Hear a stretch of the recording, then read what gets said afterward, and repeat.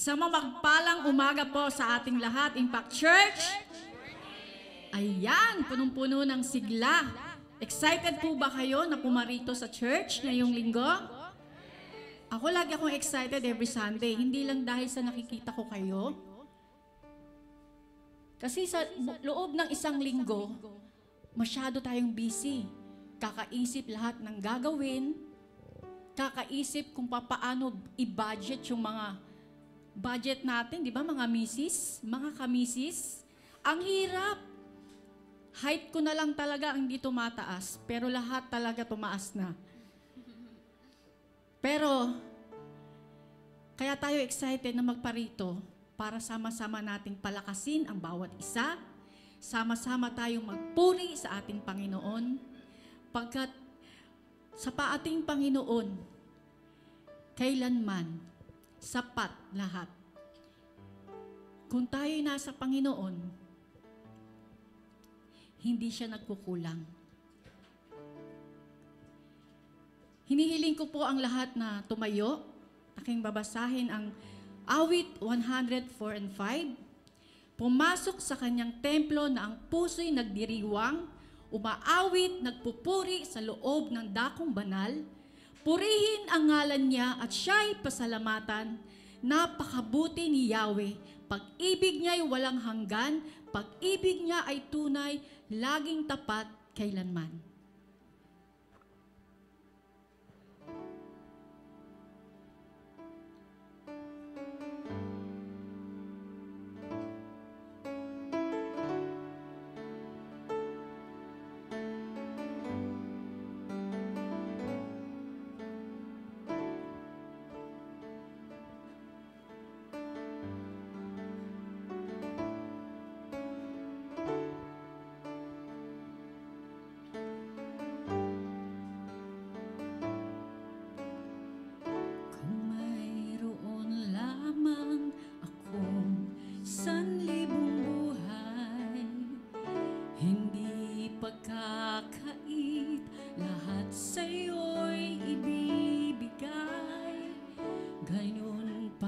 Sa'king nag-iisang taglay, ilalaan.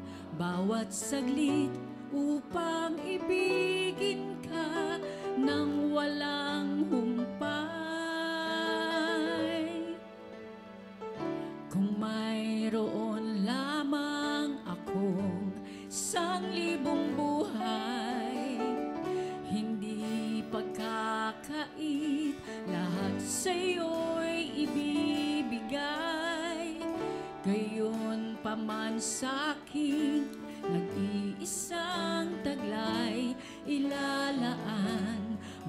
saglit upang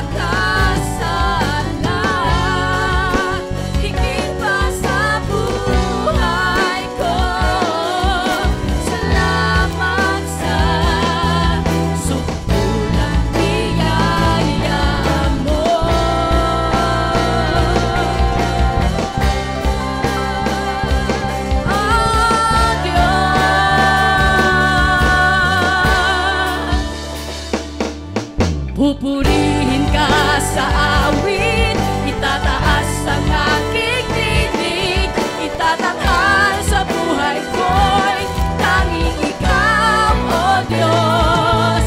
Higit pa sa kalangitan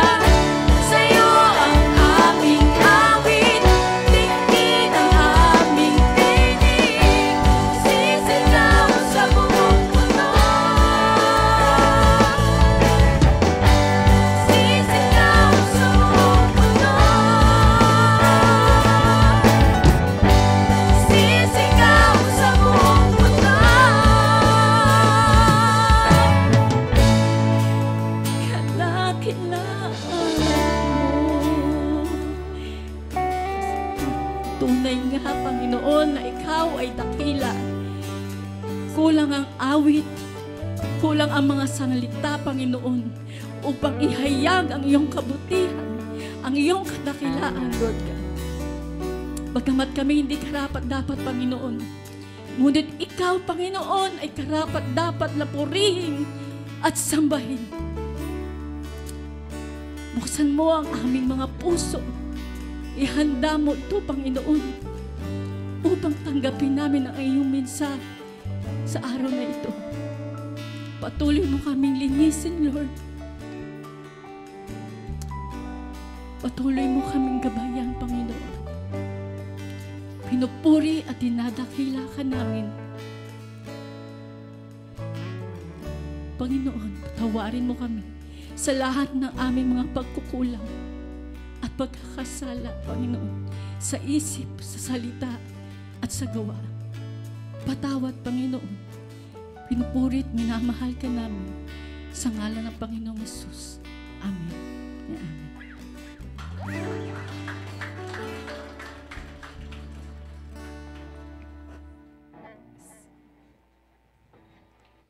Ayun. Isa pa po, pinakamalakas na palakpakan para sa ating Panginoon. Ayan, tunay nga po na napakasarap umawit sa ating Panginoon. And good morning, Impact Church! Good morning. At tayo po ngayon ay May 21 na, 2023. Grabe, no? Fourth Sunday na tayo ng buwan. Parang kailan lang nung sineselebrate natin yung ah, Christmas. ha? Third, third Sunday ng buwan. Sorry, mali yung bilang. Yun nga po, no? Dahil napakadaling lumipas ng mga panahon. And of course, gusto ko din pong batiin yung ating mga first-time ah, visitors dito sa ating simbahan. Ayan, sina Joanne Rodelas. Kaway ka naman, Joanne. Yan, si Joanne. At si Majel Del Rosario. Yan. Alam niyo po, napadaan lang po sila at nakita nila na may simbahan at sila po ay ah, pumasok. Sana po eh, hindi ito yung last na tayo ay magkikita. Sana next Sunday ay makita pa din po namin kayo. Welcome po kayo dito sa ating simbahan. And yan po, gusto nating batiin. Unang-una, belated happy wedding anniversary po kay Pastor Ariel at kay Ate Lori Ginto last May 20. Kahapon, kahapon po ay nag-celebrate sila ng kanilang wedding anniversary. And of course, happy birthday today si Ate Raj Arellano. Andyan siya, kaya pala naka-red. happy birthday, Ate Raj. And sa May 22, si Justina. May 24, si MJ Lianeta na nasa Kogyo. Happy birthday. At si Miko Lianeta at si Luisito Cantila sa May 26. And of course, happy wedding anniversary din po kay ah, Kuya Bobot and Ate Jean Megraso. Happy wedding anniversary po. And yun nga po, patuloy ang pagkilos ng Panginoon sa pamamagitan po ng ating simbahan. Dahil ngayong linggo po, ay nagmamadali na naman ako. ngayong linggo po ay patuloy po yung ministry natin dyan sa Don Quintin Paredes High School. Ayan po, Region. Region Wednesday po yan. Dahil nangyayari po yan every Wednesday mismong sa loob ng school. And of course, dito naman po sa church natin, Region Friday naman po ang tawag. Yan. Asan may picture pa ba tayo dyan? Yan. Last Friday. Yan po ang nangyari. And pinapasalamatan po nat, namin, natin lahat, buong simbahan, dahil ramdam na ramdam po ng mga pastors natin ang backup na panalangin po ninyo dito po sa naganap na Campus Ministers Convergence sa Nueva Ecija. Ayan. Kasi po, nandun ako. Ayan. At nakita ko po na grabe, hindi lang po pagpapala yung ating mga pastors sa ating simbahan, pati na din po sa mga churches sa Nueva Ecija. At grabe po talaga ang ginagawa ng Panginoon sa lalawigan na iyon. Kaya, pwede pa ba nating palakpakan ng Panginoon? Yan sa kanyang kabutihan. At ito po mga paalala, mamaya po ay meron tayong four-chair discipleship. Yan. Yung mga nag-attend last discipleship training. Yung mga nag-attend last last Sunday, ito po ang continuation. Kaya kayo po ay magstay mamaya. Pagkatapos ng lunch ay magtutuloy-tuloy po itong training natin. And para naman po sa ating mga youth, nakikiatin, ngay mamaya na po ang inyong youth fellowship. Yan, yan po ay 2 to 5 p.m. At gaganapin po yan sa Santa Mesa New Life Alliance Church. At yung mga ate at kuya natin ang magdadala sa iba pa nating mga youth doon sa church na iyon. Tama ba, Ate Ina? Ayan. And ayan na nga, eto na nga. Sino po ang excited na po para sa ating family camp? Itaas po ang kamay ng lahat ng excited. Ayan. Nagpalista na po ba kayo? Ayan. Kung hindi pa po, please magpalista na po kayo para more or less ay malaman po natin kung ilan po tayong makakasama. Yan po ay next month na. Grabe, June 16 to 18, 2023. At yan po ay gaganapin sa as usual, sa Sierra Madre Suites, Palayan City, Nueva Ecija. At wag po nating kalilimutan na kayo po ay may kasama mga anak na 0 to 7 years old, yan po ay libre. 8 to 12 years old naman po, half yung kanilang payment. Yan, dahil ang ating registration fee po ay 1,900. And 13 years old and up, uh, full payment na po yan. Pero para sa ating mga malasakit ministry members, adult and kids, maximum of 4 persons, 500 pesos po ang isa. At kapag kayo po ay sobra sa apat, para sa ating malasakit members, regular payment na po yan. At kung meron pa po kayong katanungan, pwede po nating i-approach si Ate Angela Camota para po dito. At si, kanino nagpapalista ba? Kay Ate Marian? At kay Ate Angela na lang din po. Yan. Kay Ate Marian at kay Ate Angela po kayo magpalista. Ayan. So this morning, we are also we also have this uh, privilege to worship the Lord through the giving of His tithes and our offering. Allow me to read po yung First Chronicles chapter 29 verses 12 to 14. Everything in heaven and earth is yours, O Lord. Wealth and honor come from you. You are the ruler of all things. In your hands are strength and power to exalt and give strength to all. God, we give you thanks and praise your glorious name. But who am I and who are my people that we should be able to give as generous as this? Everything comes from you, and we have given you only what comes from your hand. So let's give, church. I invite everyone, let us give back to the Lord what is for him. Come, let's give his tithes and our offering.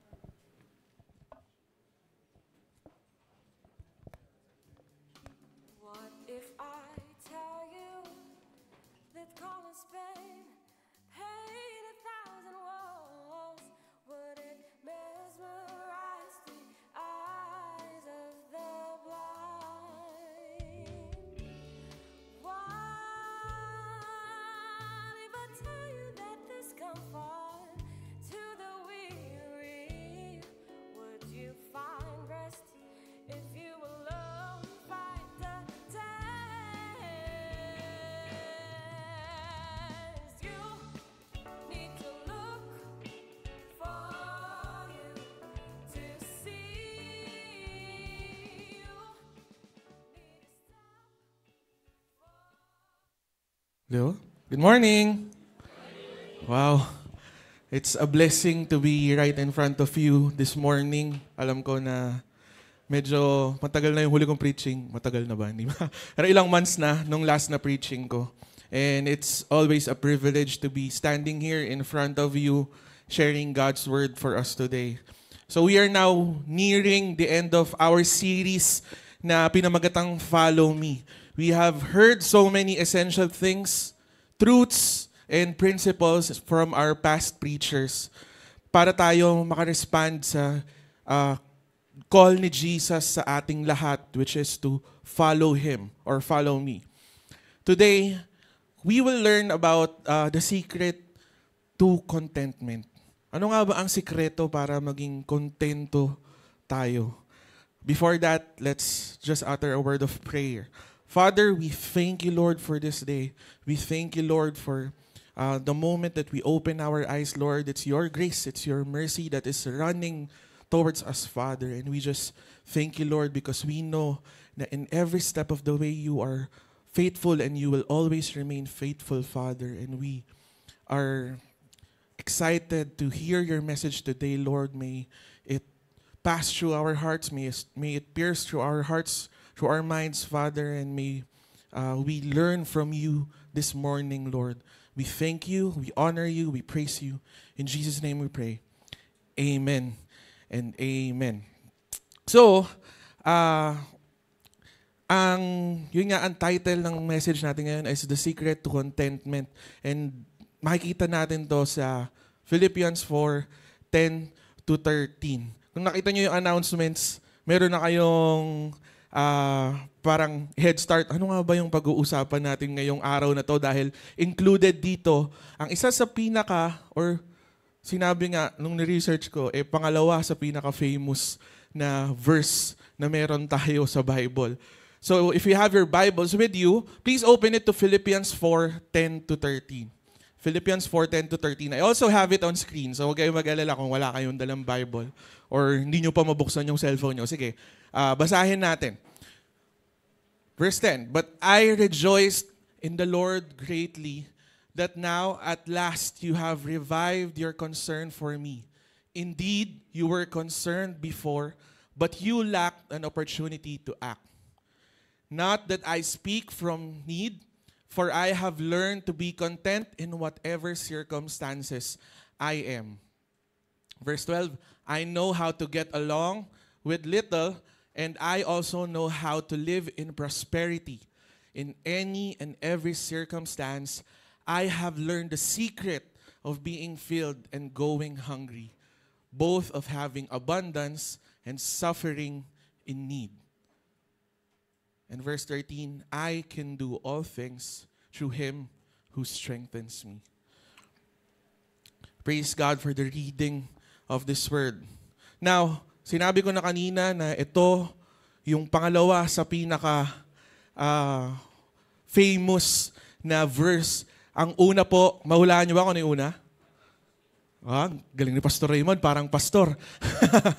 John 3.16 po yung pinakaunang famous. And uh, some people believe na ito yung pangalawa. I can do all things through Christ who strengthens me. Sigurado ako na once or twice in your life, eh, na-stum- you have stumbled upon this verse. And malaki yung chance na nagamit mo na itong verse na to para ma-motivate ka. Di ba? Ma, mag, ah, maabot mo yung gusto mong maabot or may pinagdadaanan ka na matindi. O, ginagamit mo tong verse na to. Ah, nobody likes to lose. Tama? Nobody likes to lose. Kanina bago ako, bago mag-start yung service, tinitignan ko yung laban ng Lakers tsaka ng Denver. Sa mga friends ko sa Facebook, alam nyo na Lakers ako, pero malungkot ako dahil feeling ko matatalo yung Lakers. And, di ba, mas- nasasaktan tayo eh. Kapag talo nga yung Hinebra, nagwawala yung mga fans paglabas ng Araneta eh. Di ba, naranasan ko yun, nanonood kami ng live. Nagwawala yung mga fans paglabas ng Araneta. May tinatapik yung taxi, may mga ganon. Grabe, because nobody likes to lose. Eh, pero in times that we feel that there's a big challenge ahead of us, is it appropriate na i-claim itong verse na to na Philippians 4.13? Sa mga pinagdadaanan natin, appropriate ba na, ay, nararanasan ko to. Ah, Philip, I can do all things. Di ba? Parang, many people around us, all over the world, use this verse. And even famous athletes, mga artista, ginagamit itong verse na to to inspire victory or para ma-motivate sila na maging malakas, magpatuloy sa buhay, para makuha o makamit yung goals nila in life. Siguro kung buhay pa si Paul, kung buhay pa si Paul, at malaman niya na ginagamit itong verse na to kung saan-saan at sa iba-ibang paraan, eh, ganito yung magiging itsura niya. sumakit yung ulo ni Paul. Bakit? Bakit kaya sa tingin nyo sumakit yung ulo ni Paul? Nakakasakit na ulo. Kasi, ang totoo, when we look at the verse, hindi yun yung tinutukoy ni Paul. We are missing out on the true essence, on the true power of this very wonderful verse na sinulat ni Paul. So today, we will discover what was Paul really talking about nung sinabi niya itong famous na verse na ito na I can do all things through Christ who strengthens me. By the way, sabi ko na yan, title ko is Secret to Contentment. Pero when Paul wrote this letter, he was probably on house arrest under the Emperor Nero. Sino dito nakakilala kay Nero? Ah, hindi yun yung, hindi nyo po kilala si Nero. ano, sa aming mga, sa age po namin nila Olim, ang Nero ay burning tool. pang burning na CD. Pero nakuha yon dahil itong si Emperor Nero, eh, mahilig magsunog. So kapag nakita nyo sa world history, sinerch nyo si Nero, uh, makikita nyo kung ano yung ginawa niya. Pero nakakulong or nahuli ni Emperor Nero itong si Paul. And itong si Emperor Nero, malakas yung sapak talaga nito. Medyo crazy siya pag tinignan nyo sa world history. And lalo na, napaka-hostile niya when it comes to Christians. Galit na galit. Ayaw na ayaw niya ng mga Christians. Kaya, nung nahuli ni Paul, ano yung nahuli ni Nero si Paul, I guess, Paul knew na yung pagkahuli niya na ito would be the end. Maaaring ito na yung last. Hindi na siya makalabas. Now, nire-write to ni Paul, nasa loob siya ng prison or maybe nasa naka-house arrest siya. Pero Paul is sharing something very important and essential sa ating Christian life. And isa itong secret na gustong i-share ni Paul sa atin. So let me go to my first point. Ano nga ba yung secret to contentment? First is contentment is not directly related to one's condition or situation. Sabi sa verse 10, But I rejoice in the Lord greatly that now at last you have revived your concern for me. Indeed, you were concerned before, but you lacked an opportunity. Not that I speak from need, for I have learned to be content in whatever circumstances I am. I know how to get along with little, and I also know how to live in prosperity in any and every circumstance I have. I have learned the secret of being filled and going hungry both of having abundance and suffering in need. So makikita natin sa verse 10 na itong mga Philippians, dati, dati pa silang nagsusupport kay Paul. So, natigil yon for some reason. Wala namang sinabi sa Bible kung anong reason kung bakit sila natigil. Pero nahirapan silang magpadala ng tulong. May nahirapan silang tulungan si Paul. Of course, nung panahon, nung panahon na yon, wala pang LBC, wala pang JTNT. 'Di ba? Wala pang GCash. No, GCash niyo na lang sa akin mga Filip mga tao sa ano, Filipos, GCash niyo na lang. Pero walang ganun dati. So, natigil yung pag-support nila kay Paul. Pero one day, may napadala silang tao, may pumuntang tao doon at may binigay na tulong kay Paul. So Paul, in this verse, started rejoicing in the Lord dahil sa pagka-revive ng concern ng mga Philippians sa kanya. Pero nilinaw ni Paul dito na hindi nga sinabi na, uy, wala naman kayong concern sa akin dati. Hindi. Hindi yun yung, sina- yung ibig sabihin ni Paul. It's just that wala silang opportunity to send support para maipakita yung concern nila kay Paul. At sinasabi lang dito ni Paul na naiintindihan ko kayo nilinaw ni Paul na sinasabi niya na, sinasabi ko to dahil hindi ako nangangailangan. Pero Paul wanted to impart a very important lesson para sa kanila. You see, when you look at the life of Paul, it it's had its ups and downs. Maraming ups and downs, parang roller coaster yung buhay ni Paul. Of course, he started off being a Pharisee na nagpe-persecute, nagpapapatay ng mga followers ni Jesus. Nabulag siya. Kita niya si Jesus, Nabulag siya. And somehow, nung nabulag siya, he fell into a deep depression. For three days, hindi siya kumain, hindi siya uminom ng tubig. Then God let Paul see again by sending Ananias to heal him. Tapos pinalitan ni Lord yung pangalan niya from Saul to Paul. Then after that, eh, nagbago yung buhay ni Paul. Ginamit siya at nagpagamit siya kay Lord. Going to different places, sharing the gospel, helping and establishing churches. Nahuli siya several times. Yung sinabi ko kanina, this is not the first time na nahuli si Paul. Nahuli siya several times, pero nakakalabas din siya. He always went back. Pag nakakalabas siya, he always went back to God and what yung mission na binigay sa kanya ni God. Until dumating yung araw na nahuli siya ng Romans. And gaya nga ng sinabi ko kanina, eh, alam niya na hindi na siya makakalabas. Pero what's amazing, when we look at it, nung sinusulat ni Paul to is, hindi nagbago yung pananampalataya niya kay Lord. If, in fact, he is rejoicing. He started it by saying na, I rejoice dahil nabuhay ulit yung concern nyo sa akin. He was rejoicing in the Lord. Imagine the irony. Nakakulong ka, pero you are rejoicing. Di ba parang ang hirap isipin nun. Alam mo na mamamatay ka, pero you are rejoicing. Hindi hinayaan ni Paul na ma-shake o ma-waver yung contentment na meron siya, yung faith, yung ginagawa niya para kay Lord. Hindi, hinaya, hindi hinayaan ni Paul na yung circumstances na ito ang magdikta sa mangyayari sa buhay niya. Instead, he responded sa mga bagay na ito. He responded well, of course, through Christ.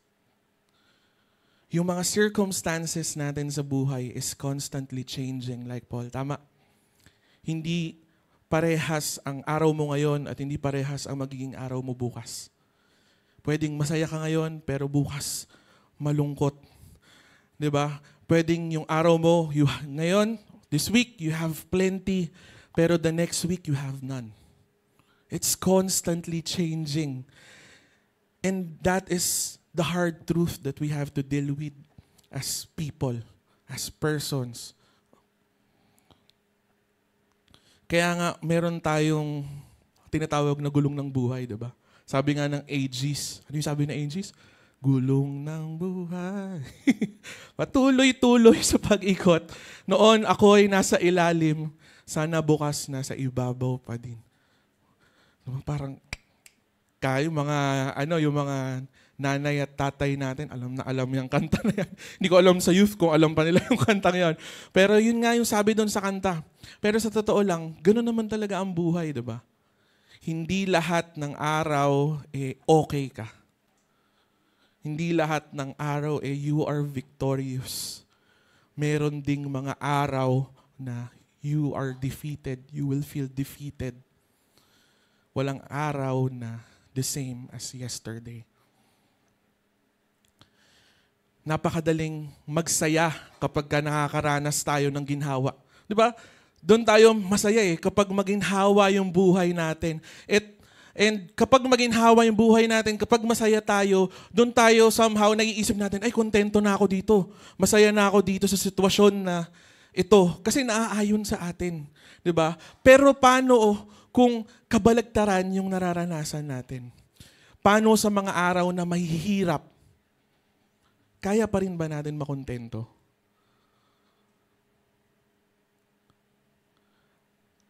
Paano kung may kinuha si Lord na sobrang importanteng bagay o tao sa'yo? Parehas pa rin ba yung magiging pananaw mo sa buhay at yung pagtingin mo sa Kanya? Well, let me tell you this. If tingin mo ang buhay ng isang Kristiyano ay bed of roses, nagkakamali ka. Walang sinabi sa Bible na madali maging Kristiyano. Dahil kasama sa buhay nating mga Christians, mga anak ni Lord, ang suffering. The moment we genuinely accepted Jesus Christ as our personal Lord and Savior, we are not citizens of this world anymore. Hindi ko alam kung nababalitaan nyo sa TV, pero minsan, yung cause ng mga riot, eh kapag dumayo ka sa isang lugar na hindi ka kilala, tapos nakursunadahan ka, ah, hindi ka taga dito ah. Mo, babanatan ko to, tingnan mo. Di ba? Usually ganun. Nababalita yan sa TV, yung nagbabatuan, nagrarayot, may binugbog, may ganyan. Kasi hindi sila taga dito. Hindi na sila kilala. Iba sila. Di ba? And tayo, we are not citizens of this world anymore. We are now citizens of heaven dahil si Jesus Christ ay tinanggap na natin sa buhay natin.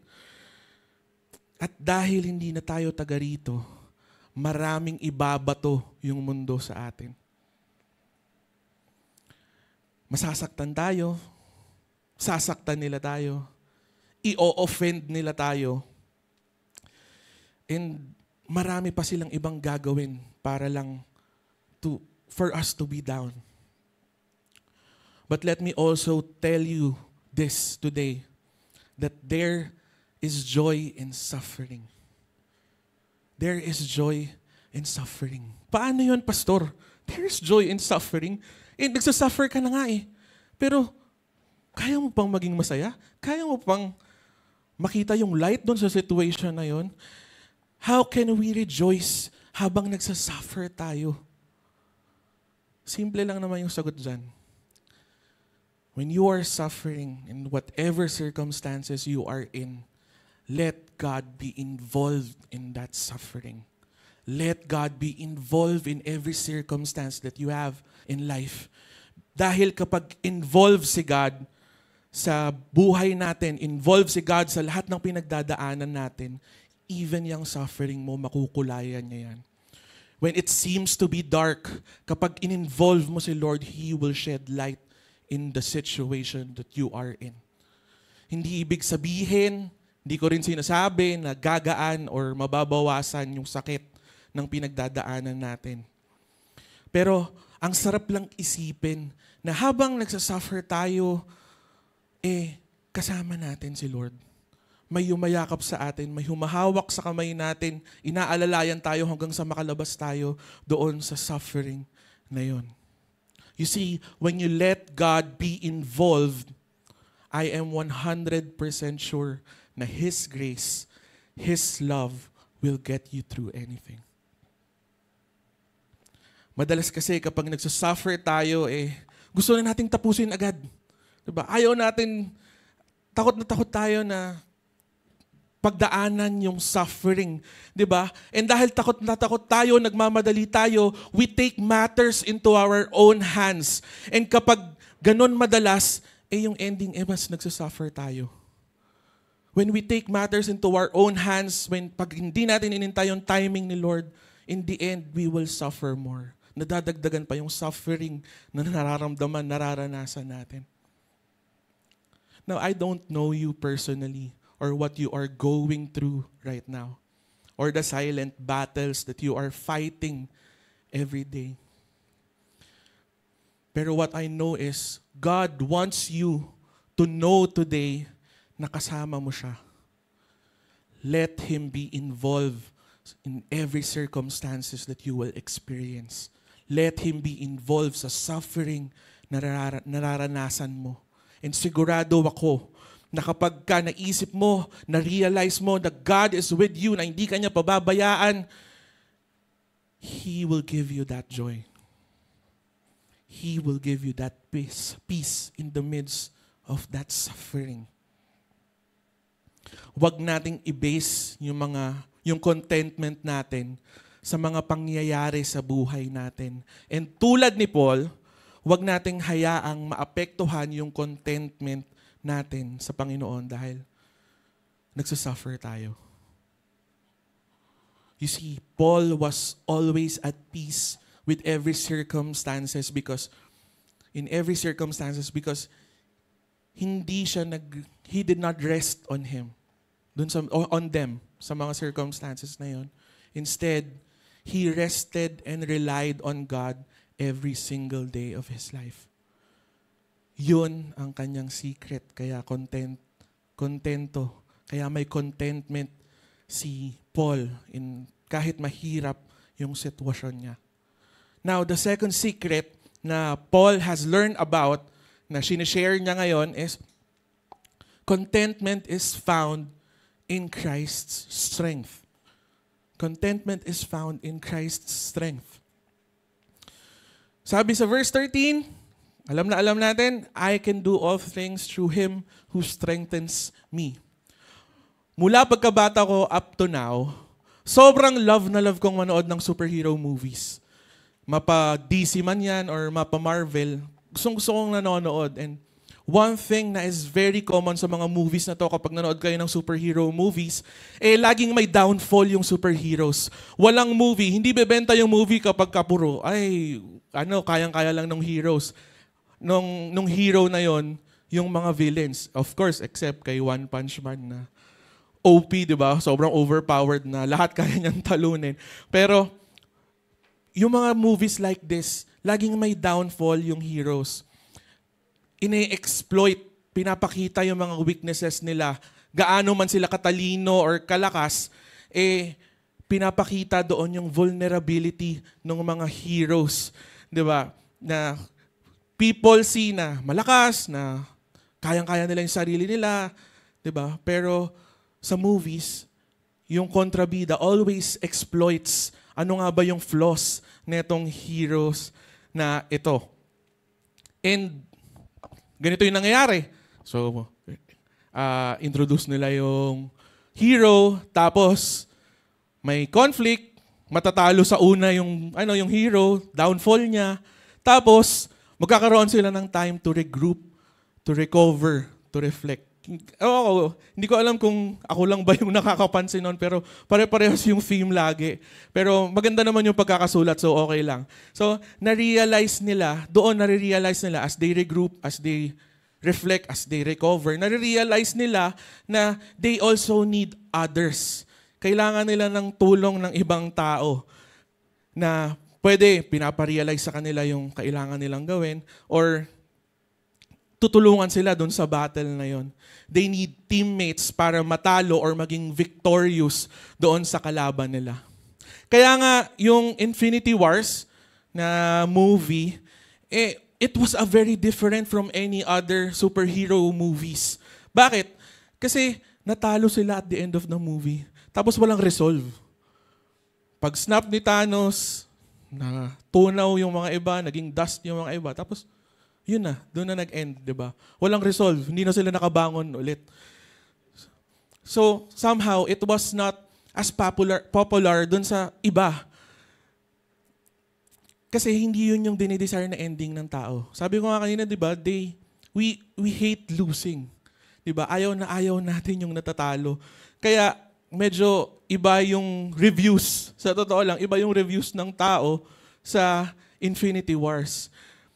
And dahil gigil na gigil yung mga tao na makabawi, gustong gusto ng mga, ano yan, gustong gusto ng mga tao yan, yung babangon ulit, di ba? And gigil na gigil sila, kaya nung lumabas yung uh, endgame, eh, tuwan-tuwa sila. Kasi, ah, ito na yung bawi namin. di ba? Kasi tayo, mga Pilipino, sa totoo lang, sanay na sanay tayo sa pelikula ni FPJ na, di ba ganun din? Papakilala yung bida, mabubugbog, or kung ano man yung mangyayari, may kikidnapin, tapos si FPJ babawi sa huli. Di ba? Ganun lagi yung tema ng pelikula. Pero may isang pelikula si FPJ na hindi masyadong nagustuhan ng mga fans niya. Alam niyo kung bakit? Kasi namatay si FPJ. Ayaw nila yon namatay si F... Idol ko yan eh, namatay yan eh. Diyos ko. Pero, yun nga, it's natural for us to desire na maging victorious sa lahat ng bagay. No one wants to be on the losing side. We all want to be on the winning side.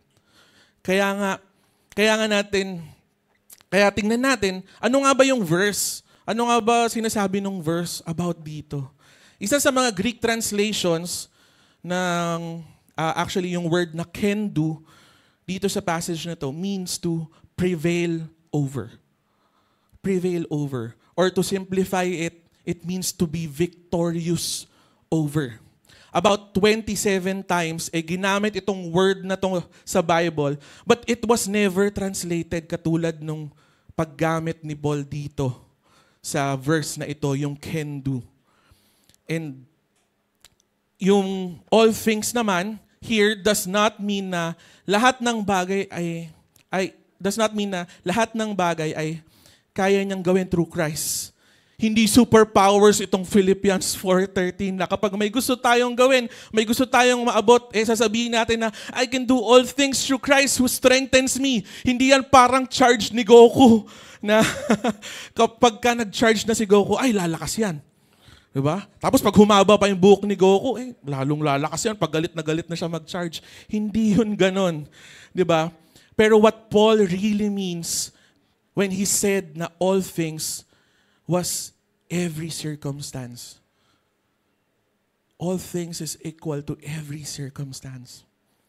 Mataas man yan o mababa, maliwanag man yan o madilim, kulang man yan o sobra, lahat ng klase ng circumstances, yun yung tinutukoy ni Paul dito.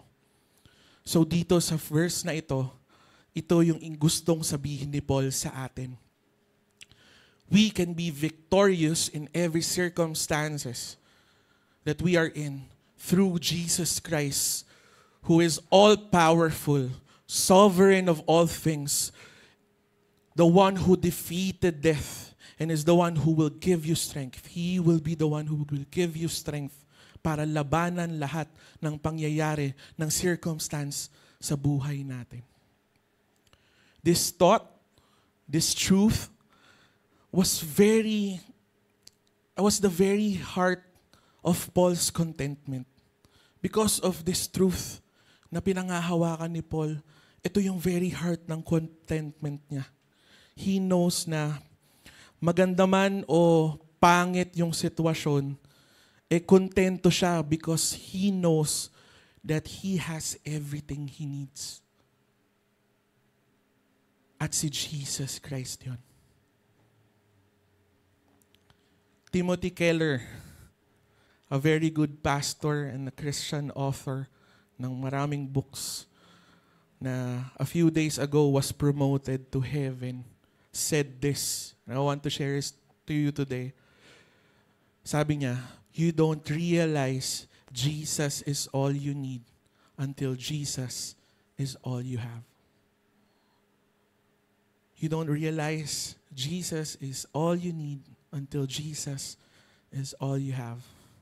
I hope and pray na this speaks to you as much as it spoke to me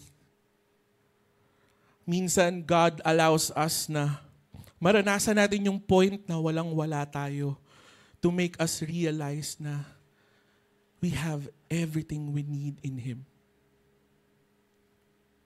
When I was contemplating on this, mas naintindihan ko yung sinasabi ni Paul dun sa Philippians 3. Sabi niya dito, But whatever were gains to me, I now consider loss for the sake of Christ. What is more, I consider everything a loss because of the surpassing worth of knowing Christ Jesus, my Lord, for whose sake I have lost all things. I consider them garbage that I may gain Christ. The truth is, we are nothing apart from God. We are nothing apart from God when we do things and face things with our own strength and not by the strength that Jesus Christ is providing us, we are always bound to fail. And we are about to break at some point. Maaring sa una, okay. Pero kapag yung strength lang natin yung ginamit natin, hindi yan sapat. We will reach yung breaking point natin. Dahil yung strength na meron tayo will never be enough to face every circumstances sa buhay natin. But when we rely on Jesus Christ's strength, when we put our trust in His power, we will be victorious sa lahat ng pangyayari at pwedeng mangyari sa buhay natin. Paul was able to be content in whatever situation he is in because he knew that victory doesn't come from through his own strength. Ang secret niya is was not him who did who did it. Hindi siya. But it was Christ who did it through him. You see the difference?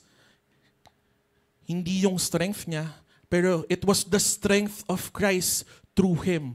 Si Christ yung nagpo-provide ng strength at si Paul yung nag-act upon dun sa provision ng strength ni Lord.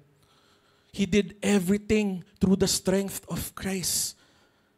He faced every circumstances through the strength of Christ. And ang good news sa atin ay itong secret na sinasabi ni Paul ay available sa lahat ng believers. Available sa lahat ng anak niya nang tumanggap sa Kanya. You see, when we accepted Jesus Christ as our personal Lord and Savior, He now lives in us. Alam ko na lahat tayo, we are in a situation that is difficult, overwhelming. Maaaring nasa sitwasyon tayo wherein nasusubukan yung pananampalataya natin kay Lord. We may be dealing with issues, health issues, difficulties sa trabaho natin, nahihirapan tayo sa uh, pag-deal sa ating mga anak, yeah, relationship issues with family or friends, or maaaring stressed kayo financially, or kahit ano pa. Ito yung mga situations na this verse is really speaking to us. When we go through these situations, ito yung verse that speaks to us. Hindi hahayaan ni Lord na harapin natin itong circumstances that we are in mag-isa. Kaya, brothers and sisters, hayaan natin na si Lord ang mag-strengthen sa atin sa mga sitwasyon na ito. And let us be contented with the truth na everything we are going through, no matter what we go through, may purpose si Lord. At makakaasa ka na sasama ang kanya araw-araw.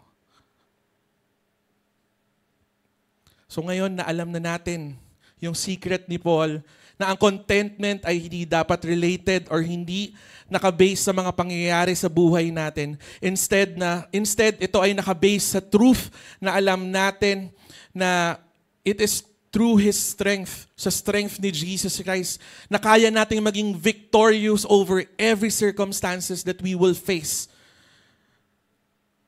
We go on to our application. Paano nga ba natin i-apply itong mga truth na ito na natutunan natin? And let me share to you ano yung kailangan natin gawin so that Jesus Christ will continually strengthen us. First is cultivate your relationship with God cultivate your relationship with God. Para patuloy tayong mas-strengthen ni God, dapat tayo ay patuloy din sa pag-cultivate ng relationship natin sa Kanya.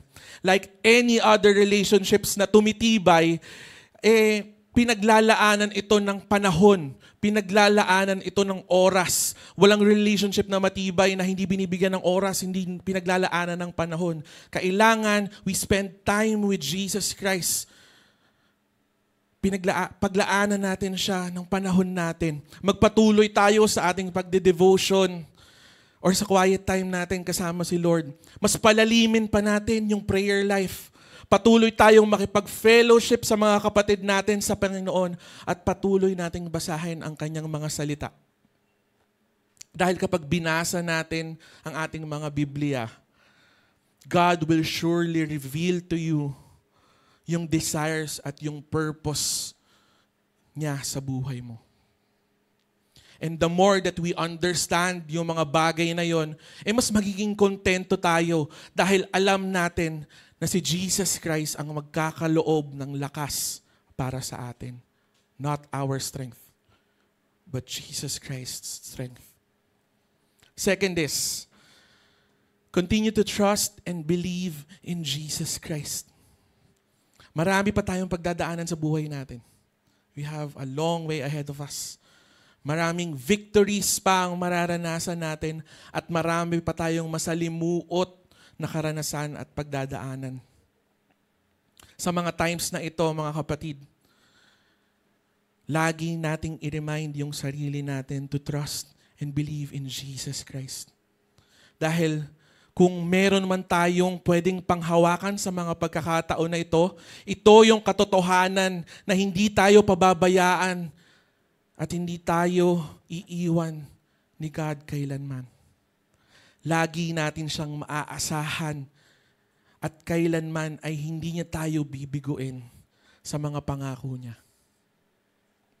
Patuloy lang tayong kumapit, manalig, at magtiwala. All of these wonderful truths na narinig natin ngayong araw na to ay para sa ating lahat. Hindi lang ito para sa iilan. Ito ay para sa lahat ng mga anak ni God, para sa lahat ng sitwasyon natin sa buhay, lalo na yung mga mahihirap. Lagi nating tatandaan na walang trial or walang trahedya na hindi kayang lagpasan dahil kasama natin si Jesus Christ. I can do all things through Christ who strengthens me. Let's pray. Father, we thank you, Lord, for the truth na we just have to rely on you, Panginoon, every single day of our lives, in every circumstances that we are in, Lord. Lord, I pray for each and everyone. We have different circumstances. Merong mga nagsasuffer ngayong panahon na ito, Panginoon. You know their silent battles, Lord. And alam mo rin, Lord, kung paano sila matutulungan. May these circumstances, Lord, lead these people, Lord, to know you more, to know your desire, to know your purpose, and to live for you, Lord. Dahil apart from you, Father, we are nothing. Apart from you, Lord, wala kaming kayang ma-attain, wala kaming kayang magawa. Everything that we have right now, yung mga victories, yung mga tinatamasa namin, yung mga privileges na meron kami, Father, it's all because of you. It's all because of your working, Lord. And we thank you, Father, dahil yung pinaka-importanting privilege ay ibinigay mo sa amin nung tinanggap ka namin, Father. You have called us your sons and your daughters, Lord. And we know, Father, na mahirap man, masalimuot man, ano man yung pinagdadaanan namin, Father, we know, Lord, that it is you. It is by your strength na malalagpasan namin itong mga to, Lord. And help us to see light, Father, in these situations. Help us to find joy, Lord, even in the midst of suffering, Father. And may we continue to trust you. Continue, Lord, to love you, Father. Because we know, Lord, na hindi mo kami iiwan, hindi mo kami bibigyan ng pagsubok na hindi namin kakayanin, Father. Dahil ngayon, alam na namin, Lord, na yung strength mo dapat yung dumadaloy sa amin, Father. At yun ang ginagamit namin. Hindi yung strength namin, Lord. We thank you, Lord, because it's all by your grace. It's all by your mercy, Father. That's why we can say this, Father, that we can do all things through you, Christ, Jesus Christ, our Lord, who will strengthen us every single day of our lives. We praise you, Father. We honor you, Lord.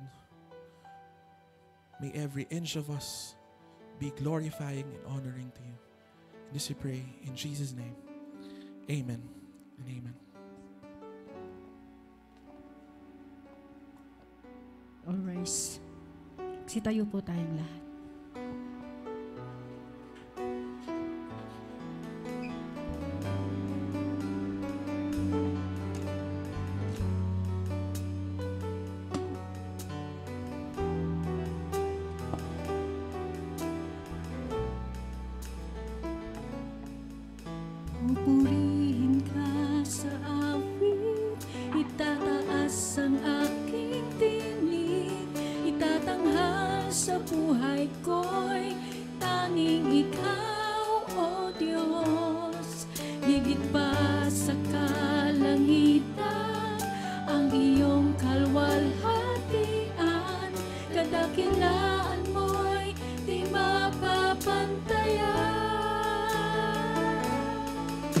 Pupurihin ka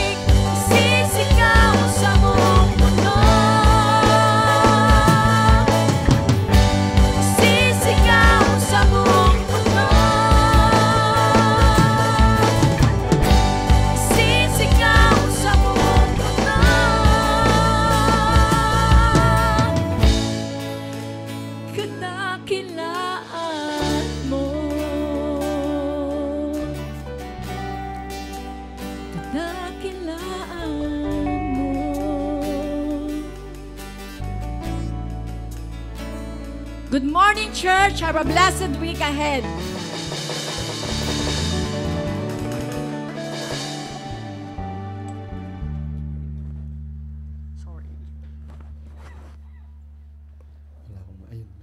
Pala. Let's just uh, pray. Uh, ask the Lord this morning. And in the spirit of, of the Lord, let's let's thank Him for all that He has done for us today. Lord, thank you because this worship service is is not just an event, Lord. It's an experience to know you more. It's an experience of praise and worship and honor, Panginoon. That we will never forget, Panginoon, how good you are sa buhay namin. And as we look at the things that are happening around us, it just speaks of who you are and who and where we should be and what we should be doing as your disciples, Panginoon. May we look at this week looking for the glory that you deserve through our words, our actions, our prayers, our life, oh God.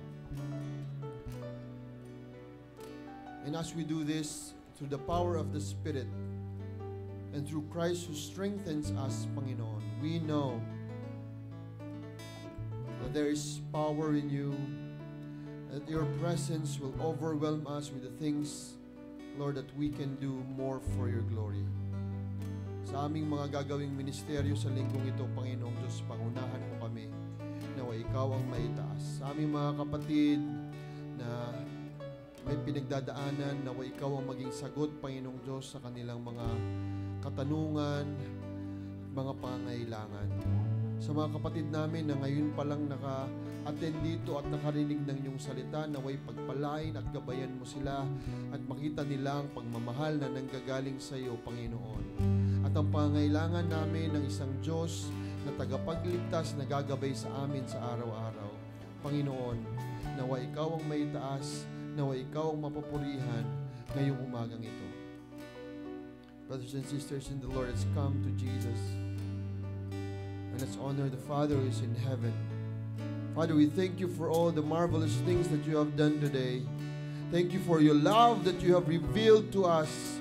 And thank you for the love that we share together as a body of Christ in this church. We pray, Lord, for all the words that you have sown in your hearts this day. Watch over them, Lord. Protect them, O God. May they take root and produce wonderful things in us, things of beauty and great blessings to many. And as we leave this place now, thank you that you will walk with us. May we be alert to your promptings, Lord, and live in your endless love. For yours is the kingdom and the power and the glory in this age and forevermore. Amen and amen.